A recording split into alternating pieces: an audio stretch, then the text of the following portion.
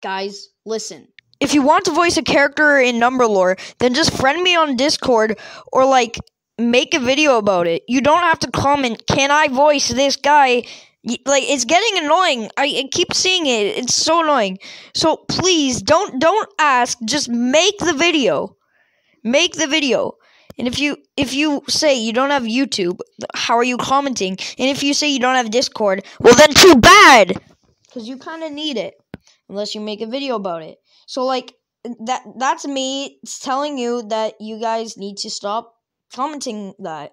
And uh please don't comment can I voice this character? Just just make the video. Please. Just make the video. Oh my god.